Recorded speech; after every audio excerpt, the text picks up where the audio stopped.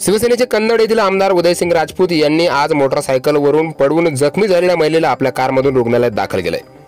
गवताळा घाटात सकाळी हा अपघात आमदार राजपूत यांच्या समोर झाला आणि राजपूत एका शाळेच्या वार्षिक स्नेह संमेलन आणि आत्महत्याग्रस्त शेतकरी कुटुंबाला शासकीय मदतीचा धनादेश देण्यासाठी औराळाकडे सकाळी निघाले होते. गवताळा घाटातून त्यांच्या कार त्यांची कार जात असताना समोर मोटरसायकलवरून जाणाऱ्या जोडप्याचा अचानक अपघात झाला.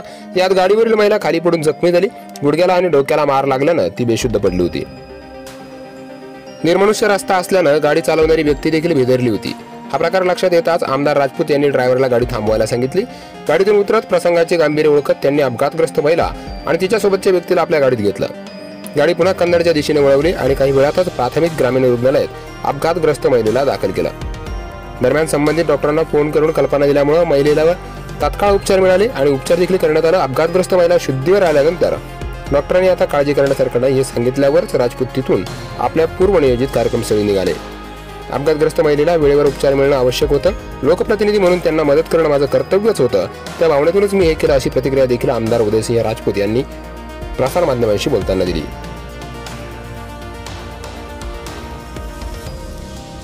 Bureau report. Bindaas media Kannad Aurangabad.